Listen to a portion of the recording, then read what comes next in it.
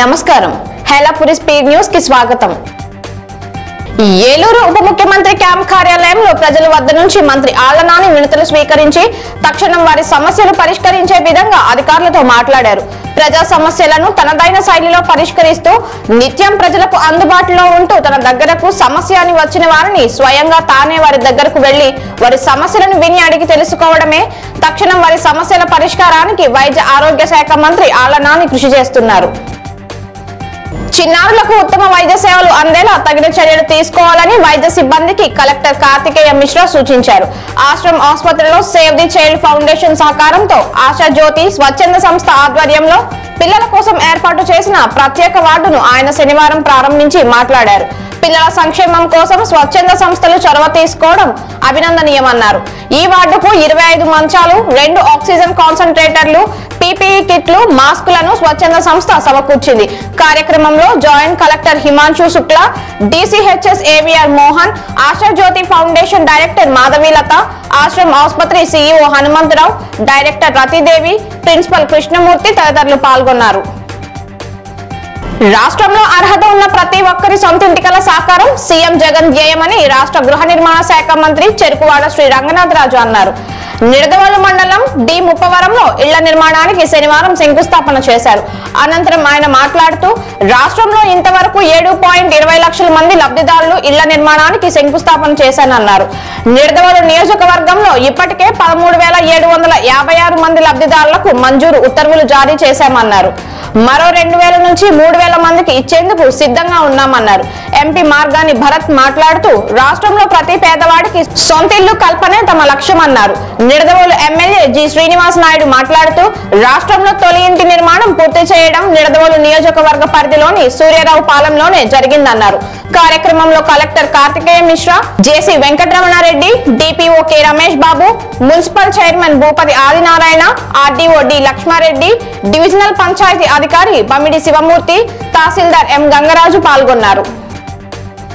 మన్యంమీరుడు అల్లూరి సీతారామరాజు నూట ఇరవై నాలుగో జయంతి వేడుకలు జిల్లా ఎస్పీ కార్యాలయంలో ఘనంగా జరిగాయి.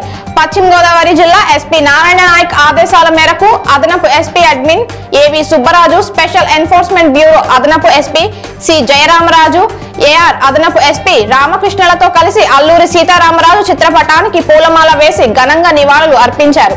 అల్లూరి సీతారామరాజు జయంతి సందర్భంగా అదనపు అడ్మిన్ ఎస్పీ మాట్లాడుతూ ప్రముఖ స్వతంత్ర పోరాట సమరయోధుడు గిరిజనుల పాలిట ఆరాధ్య దేవుడు బ్రిటిష్ పాలకుల పట్ల సింహ స్వప్నంగా వెలిగించి గిరిజనుల యొక్క ఆశయ సాధన కొరకు తన జీవితాన్ని సంఘసేవకు అంకితం చేశారని మహనీయుడు మన్యం వీరుడు అల్లూరి సీతారామరాజు ఘనతను కొనియాడారు. ద్వారకా తిరుమల శ్రీవారి ఆలయంలో భక్తుల రద్దీ నెలకొంది. స్వామివారికి ప్రీతిపాత్రమైన రోజు శనివారం కావడంతో రాష్ట్ర నలుమూలల నుంచి అధిక సంఖ్యలో తరలి వచ్చారు దీంతో ఆలయ పరిసరాలు కిటకిటలాడాయి. ఆలయానికి చేరుకున్న భక్తుల చేతులకు శానిటైజేషన్ చేయడంతో పాటు థర్మల్ స్కానర్తో శరీర ఉష్ణోగ్రతను పరీక్షించి దర్శనానికి అనుమతించారు. అలాగే మాస్కులు ధరించిన వారిని మాత్రమే ఆలయంలోకి పంపారు. కోవిడ్ నిబంధనలు పాటిస్తూ స్వామివారి దర్శన భాగ్యం కల్పించారు. దర్శన క్యూలు కేశఖండనశాల ప్రసాదాల కౌంటర్లు కిటకిటలాడాయి. దీంతో క్షేత్ర పరిసరాల్లో ఆధ్యాత్మిక శోభ సంతరించుకుంది.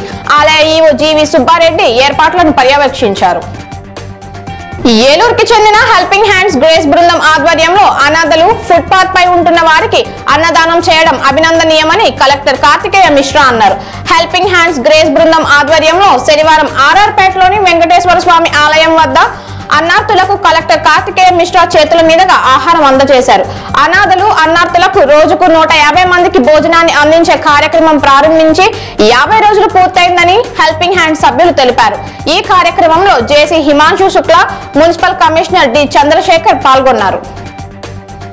ఏలూరు వన్ టౌన్ పిలాస్పేట్లో మద్యమత్తులు రవీంద్ర అనే వ్యక్తి వెంకటేష్ పై కత్తిపీటతో దాడి చేశాడు. ఈ దాడిలో వెంకటేష్కి తీవ్ర గాయాలయ్యాయి. అనంతరం రోడ్డుపై వెళ్తున్న రవీంద్ర ట్రాక్టర్ ట్రక్ కింద పడడంతో తీవ్రంగా గాయపడ్డాడు. ఇద్దరిని ఏలూరు ప్రభుత్వ ఆసుపత్రికి తరలించగా వైద్యులు చికిత్స అందిస్తున్నారు.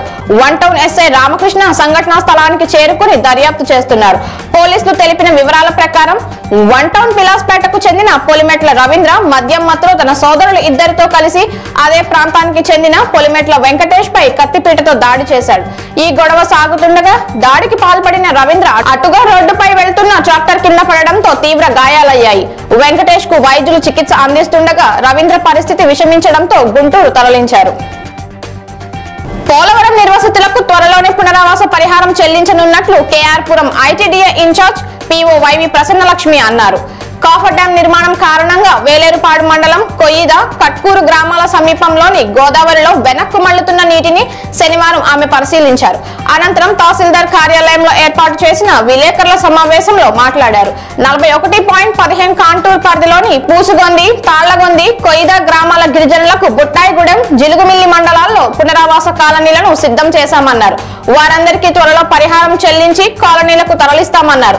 నలభై ఐదు పాయింట్ డెబ్బై రెండు కాంటూర్ పరిధిలోని పేరంటాలపల్లి కాకిస్నూరు టేకుపల్లి కొండరెడ్డి గిరిజనులను సైతం నలభై ఒకటి పాయింట్ పదిహేను కాంటూరులో చేర్చి పరిహారం చెల్లించేందుకు చర్యలు చేపట్టామని వివరించారు.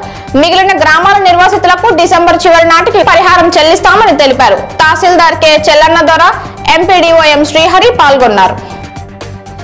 పశ్చిమ గోదావరి జిల్లా ఉంగుటూరు మండలం బాదంపూడి వద్ద ఘోర రోడ్డు ప్రమాదం చోటు చేసుకుంది. ప్రమాదంలో ముగ్గురు మరణించగా మరో ఇద్దరు తీవ్రంగా గాయపడ్డారు. గాయపడ్డ వారిని తణుకు ప్రభుత్వ ఆసుపత్రిలో చికిత్స అందిస్తున్నారు. తాడేపల్లిగూడెం వైపు నుండి ఏలూరు వైపు వెళ్తున్న తెలంగాణకు చెందిన కారు బాదంపూడి జాతీయ రహదారి వద్దకు వచ్చేసరికి అదుపు తప్పి కల్వర్టును ఢీకొంది. దీంతో ఘటనా స్థలంలోనే కారు డ్రైవర్ మరియు పక్కనున్న వ్యక్తి అక్కడికక్కడే మృతి చెందారు. కారులో వెనుక కూర్చున్న ముగ్గురు వ్యక్తులకు తీవ్ర గాయాలు అయ్యాయి. వారిని ఆసుపత్రికి తరలిస్తుండగా కన్నా అనే వ్యక్తి మృతి చెందాడు. ఘటనా స్థలానికి చేరుకున్న పోలీసులు అయితే మృతులు హైదరాబాద్ మల్కాజ్గిరి ప్రాంతానికి చెందిన వారిగా పోలీసులు గుర్తించి మృతుల వివరాలు సేకరిస్తున్నారు. మృతులలో ఒక వ్యక్తి పేరు గిరిగా పోలీసులు గుర్తించారు. ఘటనపై కేసు నమోదు చేసి దర్యాప్తు చేస్తున్నారు. మృతదేహాలను పోస్టుమార్టం నిమిత్తం ఆసుపత్రికి తరలించారు. కొల్లేరు అభయారణ్యం పరిధిలోని పెదయాగానం ఇల్లులో అక్రమంగా తవ్విన చేపల చెరువుల గట్లను అటవీ శాఖ అధికారులు శనివారం ధ్వంసం చేయించారు. ఈ సందర్భంగా ఏలూరు రేంజర్ కుమార్ మాట్లాడుతూ నిబంధనలకు విరుద్ధంగా చెరువులు తవ్వితే ఎంతటి వారినైనా ఉపేక్షించేది లేదన్నారు. కార్యక్రమంలో అటవీ శాఖ వన్యప్రాణి యజమాన్య విభాగం అధికారులు సిబ్బంది పాల్గొన్నారు. విదేశాలకు మామిడి ఎగుమతులే లక్ష్యంగా నూజివీడ్ మామిడి పరిశోధనా స్థానం శాస్త్రవేత్తలు పనిచేస్తున్నారని డాక్టర్ వైఎస్ఆర్ ఉద్యాన విశ్వవిద్యాలయ ఉపకులపతి టి జానకిరామ్ అన్నారు. శనివారం ఆయన విశ్వవిద్యాలయ పరిశోధనల సంచాలకుడు ఆర్వీఎస్కే రెడ్డితో కలిసి కృష్ణా జిల్లా నూజివీడ్ మామిడి పరిశోధనా స్థానం వైఎస్ఆర్ ఉద్యాన పాలిటెక్నిక్ కళాశాలలను సందర్శించారు. ఈ సందర్భంగా ఆయన మాట్లాడుతూ నూజివీడు ప్రాంతంలో మామిడి సాగు ఎక్కువ కనుక పరిశోధనా స్థానం ఏర్పాటు చేశారన్నారు. ఇక్కడ మామిడి పండుకు ఈగబెడత అధికంగా ఉందని ఫలితంగా కాయ నాణ్యత తగ్గి విదేశీ ఎగుమతులకు అడ్డంకిగా మారిందన్నారు.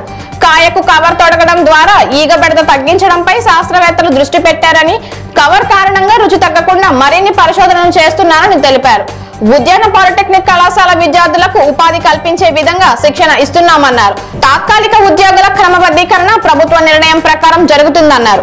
విద్యార్థులకు క్షేత్రస్థాయి అనుభవం ఆట స్థలం కోసం తగిన భూమి ఏర్పాటుకు కృషి చేస్తామని వివరించారు. ఆర్వీఎస్కే రెడ్డి పరిశోధనలు సాగుతున్న తీరు లాభాల గురించి వివరించారు. క్షేత్రస్థాయిలో శాస్త్రవేత్తలు చేస్తున్న పరిశోధనలను పరిశీలించారు. మామిడి పరిశోధన సంస్థ ప్రధాన శాస్త్ర శాస్త్రవేత్త బి కనక మహాలక్ష్మి పాల్గొన్నారు. నిలువ నీడ కోల్పోయి పూర్వీకుల నాటి స్థిరాస్తులు వదులుకుంటున్న పోలవరం ప్రాజెక్ట్ నిర్వాసితులకు పరిహారం ఇవ్వాల్సిన బాధ్యత కేంద్ర రాష్ట్ర ప్రభుత్వాలపై లేదా అని సిపిఎం రాష్ట్ర కార్యదర్శి మధు ప్రశ్నించారు. కుక్కునూరు మండలం వేలేరు వెంకటాపురం వేలేరుపాడు మండలం కొయిద కట్కూరు చిగురు మామిడి గ్రామాల్లో శనివారం విపక్షాల నాయకులు పర్యటించారు. అనంతరం కుక్కునూరులో నిర్వహించిన బహిరంగ సభలో మధు మాట్లాడారు. రెండు వేల పదమూడు భూసేకరణ చట్టం ప్రకారం పరిహారం చెల్లించాలని డిమాండ్ చేశారు. ప్రాజెక్ట్ నిర్మాణంపై ఉన్న శ్రద్ధ నిర్వాసితులపై చూపడం లేదన్నారు. ఈ నెల ఐదున విజయవాడలో నిరసన దీక్ష చేపడతామని ఏడున మండలాల్లో దీక్షలు చేపట్టాలన్నారు. నిర్వసితులు చేపట్టే ఏ కార్యక్రమానికైనా విజయవాడ నుంచి రావడానికి అన్ని పార్టీల నాయకులు సిద్ధంగా ఉన్నారని తెలిపారు. సిపిఐ రాష్ట్ర కార్యదర్శి రామకృష్ణ మాట్లాడుతూ ప్రభుత్వం దిగిరాకుంటే ఉద్యమం మరింత తీవ్రతం చేస్తామన్నారు. ఈ నెలలోనే తెలంగాణ సరిహద్దు నుంచి వేలేరుపాడు వరకు ఆరు వేల మందితో మహాపాదయాత్ర చేపడతామని వెల్లడించారు. అర్హత కలిగిన కౌలు రైతులందరికీ పంట రుణాలు ఇవ్వడానికి బ్యాంక్ అధికారులు తగిన చర్యలు తీసుకోవాలని వ్యవసాయ శాఖ సంయుక్త సంచాలకురాలు గౌసియా బేగం సూచించారు. దెందులూరు మండలం గోపన్నపాలెంలో కౌలు రైతులకు పంట రుణాలపై అవగాహన కార్యక్రమం శనివారం నిర్వహించారు. కౌలుదారులంతా గుర్తింపు కార్డులు పొందాలన్నారు. పంటల బీమా పథకం గురించి వివరించారు. నూతన సాంకేతిక పద్ధతులను అవలంబించడం ద్వారా సాగు ఖర్చులను గణనీయంగా తగ్గుతాయన్నారు. వరి సాగులో అవసరమైన మేర మాత్రమే రసాయన ఎరువులను వినియోగించాలని మార్టేరు ప్రాంతీయ వ్యవసాయ పరిశోధనా స్థానం ఏడీఆర్ జి జోగినాయుడు తెలిపారు. ఉభయ గోదావరి జిల్లాల వ్యవసాయ అధికారులు శాస్త్రవేత్తలకు శిక్షణ ప్రదర్శన కార్యక్రమం వర్చువల్ విధానంలో శనివారం నిర్వహించారు. ఈ సందర్భంగా ఆయన మాట్లాడుతూ రైతులు విచక్షణ రహితంగా పురుగు మందులు పిచికారీ చేయొద్దన్నారు. పశ్చిమ జేడీఏ గౌసియా బేగం మాట్లాడుతూ రైతులను యాంత్రీకరణ వైపు ప్రోత్సహిస్తున్నట్లు చెప్పారు. వరి ప్రధాన శాస్త్రవేత్త పి. రమేష్ బాబు మాట్లాడుతూ భూసారం వాతావరణ పరిస్థితులను బట్టి సాగుకు అనువైన రకాలను ఎంపిక చేసుకోవాలన్నారు. వరి నారుమడుల యాజమాన్యం కలుపు నివారణపై సీనియర్ శాస్త్రవేత్త మానుకొండ శ్రీనివాస్ అవగాహన కల్పించారు. సమావేశంలో తూర్పుగోదావరి జిల్లా జేడీఏ విజయ్ కుమార్ ప్రధాన శాస్త్రవేత్త సి వెంకటరెడ్డి సీనియర్ శాస్త్రవేత్తలు PV Ramanarao CH Srinivas M Nandakishore G Kusuma Ramabhadraraju తదితరులు పాల్గొన్నారు. దేశంలో కరోనా ఉధృతి క్రమంగా అదుపులోకి వస్తుంది. గత కొన్ని రోజులుగా యాభై వేలకు దిగువననే కొత్త కేసులు నమోదు అవుతుండటంతో ఊరట కలిగిస్తోంది. గడిచిన ఇరవై నాలుగు గంటల్లో కొత్తగా నలభై మూడు వేల డెబ్బై ఒక్క కేసులు వెలుగులోకి వచ్చాయి. అంతకు ముందు రోజుతో పోల్చితే రెండు శాతం తక్కువగా కేసులు నమోదయ్యాయి. ఇక మరణాల సంఖ్యలో మాత్రం కాస్త పెరుగుదల కనిపించింది. నిన్న పద్దెనిమిది లక్షల ముప్పై ఎనిమిది వేల నాలుగు వందల తొంభై కరోనా నిర్ధారణ పరీక్షలు నిర్వహించారు. దీంతో ఇప్పటి వరకు నిర్వహించిన పరీక్షల సంఖ్య నలభై ఒకటి పాయింట్ ఇరవై ఎనిమిది కోట్లకు చేరింది. క్రితం రోజుతో పోల్చితే మరణాల సంఖ్య కాస్త పెరిగింది. గడిచిన ఇరవై నాలుగు గంటల్లో తొమ్మిది వందల యాభై ఐదు మంది కరోనాతో చికిత్స పొందుతూ మరణించగా ఇప్పటి వరకు ప్రాణాలు కోల్పోయిన వారి సంఖ్య నాలుగు లక్షల రెండు వేల ఐదుకు చేరింది. ఇక నిన్న ఒక్క రోజే యాభై రెండు వేల రెండు వందల తొంభై తొమ్మిది మంది కరోనాను జయించగా ఇప్పటి వరకు కోలుకున్న వారి సంఖ్య రెండు కోట్ల తొంభై ఆరు లక్షల యాభై ఎనిమిది వేల డెబ్బై ఎనిమిదికి చేరి ఆ రేటు తొంభై ఏడు పాయింట్ తొమ్మిది శాతానికి పెరిగింది. ప్రస్తుతం దేశంలో నాలుగు లక్షల ఎనభై ఐదు వేల మూడు వందల యాభై క్రియాశీల కేసులు ఉన్నాయి. నిన్న అరవై మూడు లక్షల ఎనభై ఏడు వేల ఎనిమిది వందల నలభై తొమ్మిది మందికి టీకాలు అందించారు.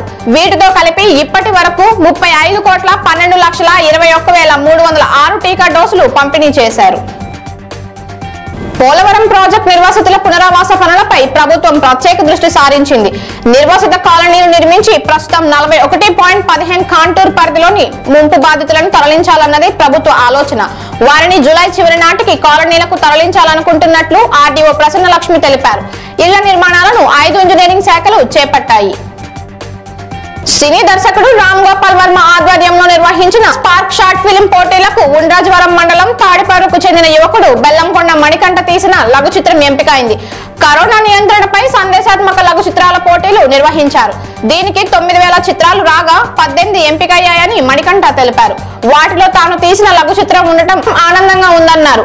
వీటిని యూట్యూబ్లో ఉంచి ఈ నెల పద్నాలుగు నాటికి ఎక్కువ మంది చూసిన తొలి ఐదింటికి నగదు బహుమతులు అందజేస్తారని తెలిపారు. స్థానిక యువతతో రెండు నిమిషాల నిడివిలో సందేశం కళ్ళకు కట్టేలా ఈ లఘు చిత్రాన్ని తీశామన్నారు.